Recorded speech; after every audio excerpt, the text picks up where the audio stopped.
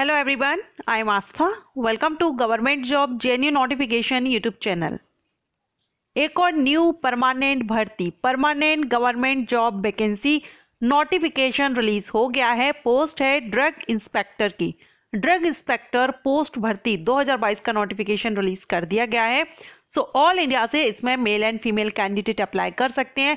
आप किसी भी स्टेट से बिलोंग करते हो आप अगर इंडियन सिटीजन हैं भारतीय नागरिक अगर आप हैं तो आप इस पोस्ट के लिए अप्लाई कर सकते हैं। ग्रेड पे आप यहाँ देख रहे हैं चौवन सौ ग्रेड पे से आपकी सैलरी रहेगी। पेमेंट यहाँ पर नाइन थाउज़ेंड थ्री हंड्रेड से thirty four thousand eight hundred तक रहेगा पेमेंट ग्रेड पे चौवन सौ यानी लेवल नाइन से सैलरी रहेगी। सैलरी काफ़ी अच्छी रहेगी। पोस्ट भी काफ़ी अच्छी है। ड्रग इंस्पेक्टर की पोस्ट है। काफ़ी कैंडिडेट पसंद करते हैं और इस पोस्ट पर जो भर्ती है नोटिफिकेशन कम ही आता है, इसका नोटिफिकेशन और ये जो भर्ती है पब्लिक सर्विस कमीशन की तरफ़ से ये नोटिफिकेशन रिलीज़ किया जाता है सो नोटिफिकेशन यहाँ पर रिलीज़ कर दिया गया है, अगर आप अप्लाई करना चाहते हैं। अभी एप्लीकेशन स्टार्ट नहीं है, लेकिन आफ्टर टू डेज़ इसके एप्लीकेशन स्टार्ट हो रहे हैं। ऑनलाइन आपको अप्लाई करना है। सारी इंपॉर्टेंट डेट क्या रहेगी? सिलेक्शन प्रोसीजर क्या रहेगा? एग्ज़ाम पैटर्न क्या रहेगा? ये जो नोटिफिकेशन है बीपीएससी की तरफ़ से ये रिलीज़ किया गया है। ऑल इंडिया से अप्लाई कर सकते हैं। ऐसा नहीं है कि अगर आप बिहार से नहीं है तो आप अप्लाई नहीं कर सकते। किसी भी स्टेट से आप बिलोंग करते हो, आप इसमें अप्लाई कर सकते हैं। और इसका जो भी बेसिक रिक्वायरमेंट्स रखी गई हैं सिलेक्शन प्रोसीजर क्या रहेगा? क्वालिफिकेशन क्या रहेगी? Age criteria according to category application fees अगर आप जिस भी कैटेगरी से हैं और अदर स्टेट से भी हैं तो भी आपके लिए क्या रहेगी? सारे पॉइंट्स मैं आपके इसी वीडियो में क्लियर करूँगी। सो so, अगर आप इस पोस्ट पर भर्ती चाहते हैं परमानेंट भर्ती रहेगी पोस्ट काफ़ी अच्छी है। अगर एलिजिबल हो तो ज़रूर अप्लाई कीजिएगा। एप्लीकेशन फ़ीस मैं आपको बता दूँगी आप जहाँ से भी जिस भी स्टेट से हैं या जिस भी कैटेगरी से हैं आपको कितनी फ़ीस पे करनी पड़ेगी ओके सो चलिए इसका नोटिफिकेशन देख लेते हैं। और हाँ मैं आपको इस वैकेंसी का नोटिफिकेशन लिंक भी डिस्क्रिप्शन बॉक्स में दे दूँगी वहाँ से आप इसका नोटिफिकेशन रीड आउट कर लीजिएगा। चलिए अभी हम इसका नोटिफिकेशन देख लेते हैं। सो so, यहाँ पर आप ये नोटिफिकेशन देख रहे हैं ये आप देख रहे हैं, औषधि निरीक्षक, यानी ड्रग इंस्पेक्टर को हिंदी में औषधि निरीक्षक कहा जाता है। सो, औषधि निरीक्षक के पदों पर भर्ती के लिए भारतीय उम्मीदवारों से ऑनलाइन आवेदन आमंत्रित किए जाते हैं। इंडियन सिटीजन से यहाँ पर एप्लीकेशन इनवाइट किए जा रहे हैं। ऑफिशियल वेबसाइट आप देख रहे हैं www.bpsc.bis.nic.in कैटेगरीज वाइज आप देखेंगे, पोस्ट कम है, इसमें पोस्ट ज़्यादा आती भी नहीं है। सो पोस्ट यहाँ पर 55 है कैटेगरीज वाइज आप देख लीजिएगा।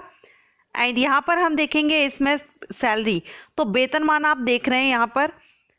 पे बैंड नौ हज़ार तीन सौ से चौंतीस हज़ार आठ सौ ग्रेड पे चौवन लेवल नाइन से यहाँ पर सैलरी रहेगी। सैलरी काफ़ी अच्छी रहेगी। शैक्षणिक योग्यता क्या रहेगी? क्वालिफिकेशन हम हम सबसे पहले यहाँ पर देख लेते हैं।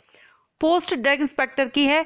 तो यहाँ पर जो रिक्वायरमेंट रखी गई है, वो है आपने भारत में किसी भी यूनिवर्सिटी से, किसी भी स्टेट में किसी भी यूनिवर्सिटी से अगर आपने फार्मेसी फार्मास्यूटिकल विज्ञान में स्नातक यानी ग्रेजुएशन किया है या क्लिनिकल फार्माकोलॉजी या माइक्रोबायोलॉजी में विशेषज्ञता के साथ आपने मेडिसिन में स्नातक किया हुआ है तो आप यहाँ पर अप्लाई कर सकते हैं।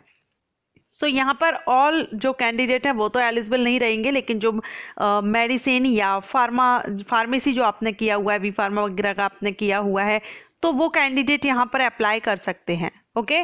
सो ये अगर क्वालिफिकेशन आपके पास है तो आप इसमें अप्लाई कर सकते हैं। अब हम बात करेंगे ये जो एज वगैरह काउंट की जाएगी, वो भी हम डेट देखेंगे। शैक्षणिक योग्यता से संबंधित सभी प्रमाण पत्र ऑनलाइन आवेदन भरने की अंतिम तिथि है 16 दिसंबर 2022 ओके?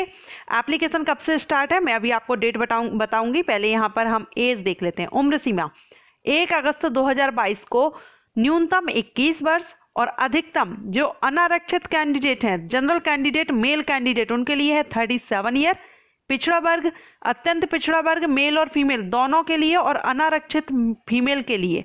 फोर्टी ईयर चालीस वर्ष।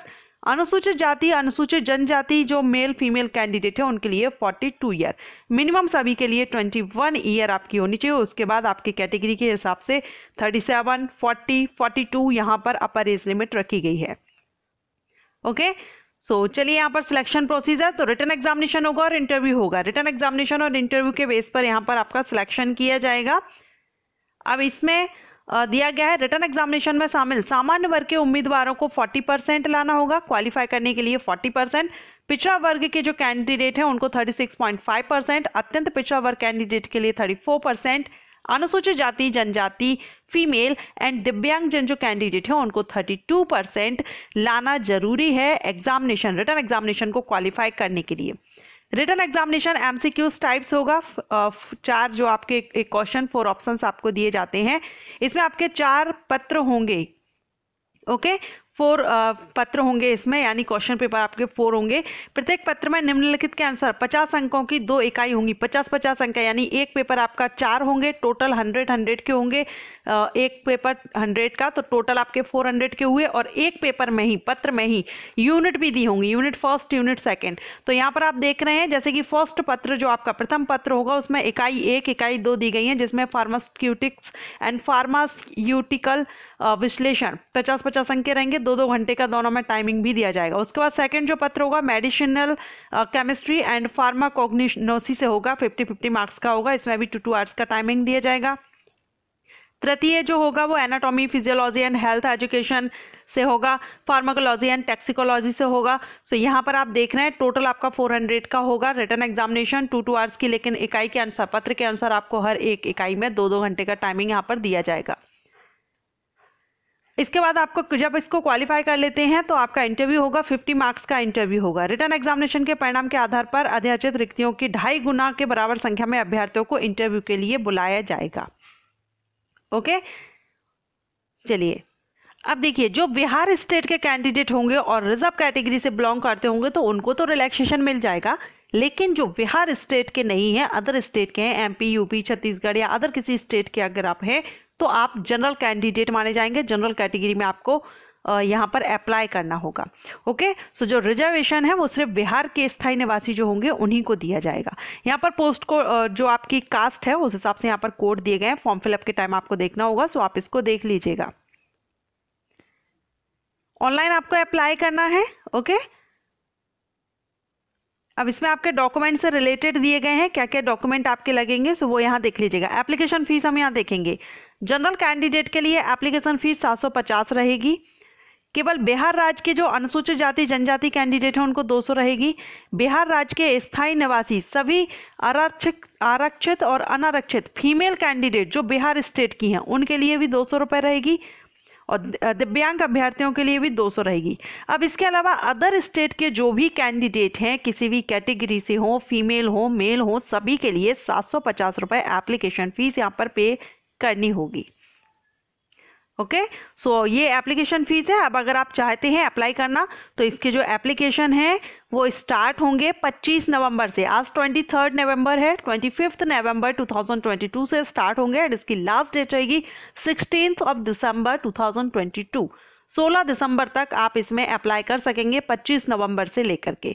इसकी ऑफिशियल वेबसाइट से ही आप इसमें अप्लाई कर सकते हैं। सो so, अगर आपने इसमें ये क्वालिफिकेशन आपके पास है मैंने आपको बता दिया है अगर आप इसमें इंटरेस्टेड हो अप्लाई करना चाहें तो आप कर सकते हैं लेकिन आप अदर स्टेट से अप्लाई कर सकते हैं लेकिन आपकी जो पोस्टिंग है वो आपको बिहार स्टेट में ही मिलेगी और जो एग्जामिनेशन सेंटर हैं वो भी आपको आई थिंक बिहार स्टेट में ही मिल सकते हैं। ओके सो अगर आप अप्लाई करते हैं, एक बार आप भी डिटेल नोटिफिकेशन चेक कीजिएगा। लिंक डिस्क्रिप्शन बॉक्स में दे दिया गया है। Thank you